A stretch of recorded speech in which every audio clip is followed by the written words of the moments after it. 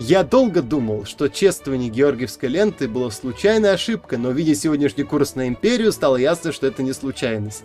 Я, я полагаю, что это и случайность, и закономерность. Просто сначала они что придумали, а потом подумали, это ж классно, вот мы туда идем, не думайте, что они имеют цель, у них ее нету. Не думайте, что у них есть план, этого плана тоже нет. У них нет ни идеологии, ни цели, ни плана. У них есть только дорога, и пока по дороге они набирают мусор какой-нибудь, вот этот мусор они несут с собою и как бы присовокупляют к себе, как э, грабители из Mad Max.